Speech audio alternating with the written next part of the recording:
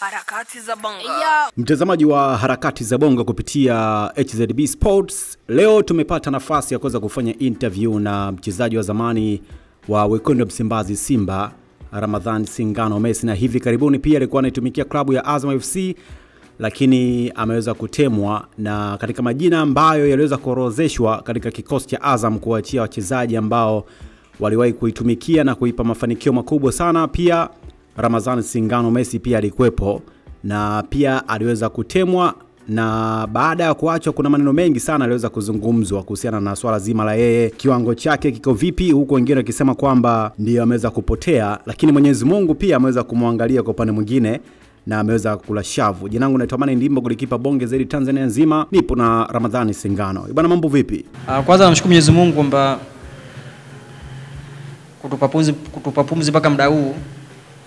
Kuhusu kupata ofa, ofa nimepata hapa nyumbani, baadhi ya timu na hata timu ndogo pia zimekuja, nataka hiyo huduma yangu, na hata nje ya nchi pia nimepata ofa.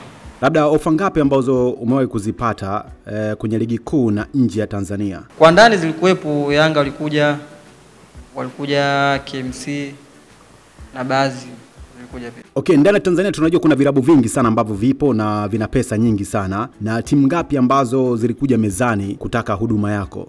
Lengo langu tokea naanza kucheza mpira, mimi nilikuwa hamu yangu ni kutoka nje ya Tanzania, lakini huwezi kutoka nje ya Tanzania mpaka uanze kwanza nyumbani, na ndio maana kila baada ya kumaliza mkataba kwenda kujaribu nje, kufanya majaribio, nadhani hata vithibitisho vipo. Kwa ndio maana hata safari hii baada ya kumaliza mkataba na Azam nikaomba kuondoka, tukakubaliana, nikaenda kufanya nani TP Mazembe. Mara baada sasa ya kuvitosa virabu hivyo, lengo lako la kutimkia nje lilikuwa vipi? Yani Ishu kwamba ofa kwanza, kama tulivyoongea awali, ofa zilikuwa nyingi ndani ya nchi na nje ya nchi, na miongoni mwa ofa za nje ya nchi ni TP Mazembe zilikuwepo, na yote haya yalitokana na watu ambao wananisimamia mimi kamkubwa mkubwa hapo na ndugu yangu hapo ambao wakala kwa sasa Rashidi, eh, kwamba issue alisimama na mimi nilikuwa sina hata haraka kwa kujua ofa zipo na kuamini kwamba na uwezo ambacho alichonipa Mwenyezi Mungu, nilikuwa naamini kwamba mimi nitapata tu timu iwe ndani au nje ya nchi. Ni kwa sicheze, nilikuwa kwa si, si, siwezi kakaa kwa kusikiliza labda watu wanasema nini. Mimi kuwa naangalia kile ndoto yangu itafika vipi. sasa unaenda kucheza na wachezaji wakubwa barani Afrika, tutarajie nini sasa kutoka kwako Ramadhani Singano? Ah, Mwenyezi Mungu anajua kwamba huko kitakachotokea. Lakini kubwa ni kujituma tu na nidhamu ya mpira. Utofauti wa soka la Tanzania na nje, unaona itakuwaje kwako? Itakuwa kama changamoto au itakuwa freshi tu? Uh, kwangu mimi mpaka sasa bado sijaanza kucheza mpira nje ya Tanzania. Nitakapoanza kucheza ndo nitajua utofauti upo vipi. Unadhani kucheza TP Mazembe unaweza kubadilisha taswira yako hasa katika maisha na kuweza kuonekana sasa Ramadhani Singano yuko katika hatua nyingine tofauti na mwanzo? taswira mimi mpaka sasa taswira imebadilika ya maisha yangu kwamba kwanza nalizika na nilichokuwa nacho kwanza nilizika nacho hata kama mtu akanibeza kwanza nishalizika nacho kwa hata huko mbele kwamba sito yani kwamba sito badilika si niwe hivi nitakuwa vile vile tu Okay, labda unahisi kitu gani ambacho kinakwamisha wachezaji wa Tanzania kutoka labda nje ya Tanzania? Wengi wanacheza hapa hapa tu, lakini mapro wanakuwa wachache. ah kikubwa kwamba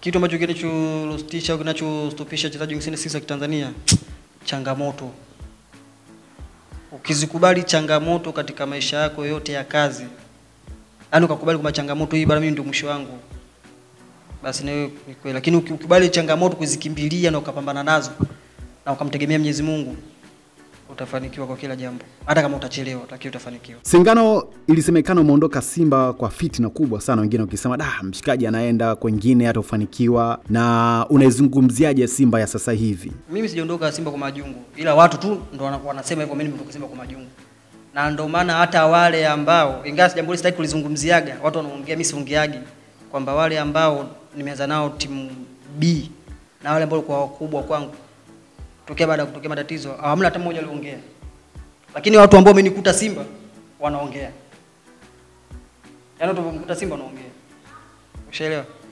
Kwa masuala kama tunayaacha. Simba Simba timu nzuri, na mimi Simba sikatai. Simba Simba ndio mimi Singano, yani kwamba wametoa wamekitoa wametoa adhabu wakaisafisha. Simba sikatai, na Mwenyezi Mungu shahidi wa hilo, yani sikatai. Simba hilo ndio nafanya Simba Simba Simba kwa vizuri tena sana tena sana, lakini hata pia Azam timu ambayo nimecheza kikweli, wallahi nimeishi vizuri na Azam, amna kitu ambacho kichwaribika mimi na Azam mpaka naondoka, nimetoka vizuri. Okay, Simba ilifanya vizuri sana klabu bingwa Afrika. Unafikiri msimu huu itaweza pia kufika mbali katika hatua nyingine na kutinga fainali, labda kurudi na mwali Tanzania?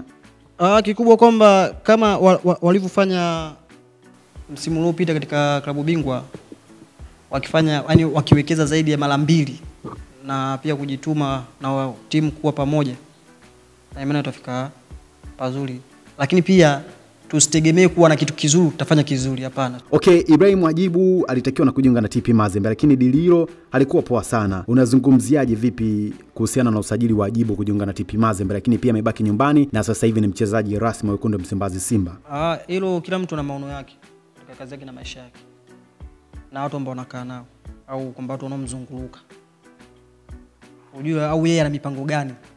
Huenda labda sio leo, hajapanga leo kwamba kaika miaka miaka fulani mimi nataka nje. Kila mtu mipango yake, na mimi natamani sana wachezaji wa Tanzania tutuki sana, yani tuondoke nje kwa ajili ya timu ya taifa. Yani, yani kubwa ni timu ya taifa, tuangalie sana. Mara ya mwisho lini kuitwa katika timu ya taifa Tanzania, yani kulitumikia taifa lako? Ah, mara mwisho nakumbuka 2015 Kocha alikuwa nani? kocha nakumbuka 2015 alikuwa nani bwana huyu? Hapana, ah, Maximum sijakuwa sijacheza kwa Maximum. Nani? Tulicheza mechi nani Uganda, alikuwa Nesi Mkwasa. Mm, Mkwasa na Morocco. Mm. Vipi, bado una ndoto ya kuichezea timu ya taifa Tanzania? Ah, kwa sababu mimi ni Mtanzania, wakiniita mimi sina shaka nitawajibika kwa kuwa ni Mtanzania. Na kila mtu ana haki kucheza timu ya taifa ya Tanzania. Hata kama sio mimi Singano, hata kuna mtu mwingine anacheza daraja la kwanza kitu timu ya taifa ni Mtanzania, acheze timu ya taifa. Kwa hiyo si Mtanzania. Unahisi kocha Emmanuel Amonike ilikuwa sahihi sasa yeye kutimuliwa katika timu ya taifa mara baada ya kupoteza michezo yote mitatu katika African? Ah, kwa hilo mimi upande wangu siwezi kulizungumzia, maana wao wenyewe wenye mpira wenyewe wasema wenye mpira wao TFF ndo analijua zaidi. Kwa hiyo sisi wachezaji kazi yetu sisi kulitiwa mtu mkufunzi, tunafanya naye kazi yoyote. Taifa Stars kushiriki Afcon na kutolewa mapema ilistahili, na ikiwa kundi C, ikiwa timu zote limepeleka katika hatua ya fainali, unaizungumzia vipi? La kwanza ni kufika kwanza Afconi, hilo lilitimia. Kufika Afcon lilitimia hilo. Kwa hiyo sasa, baada ya hapo ndo tuangalie mapungufu, hapo sisi tulikosea hapa. Tusilaumu kwanza wachezaji huko, nini umefanya vibaya. Mm -mm. Wachezaji wametuzidi, yaani wana, wana, wana mapro sana nje. Lini sasa utapaa kuelekea Kongo kujiunga rasmi na TP Mazembe Engrabat? Ah, hilo bado, kwa sababu kwamba moja kwanza kuangalia familia na ndugu.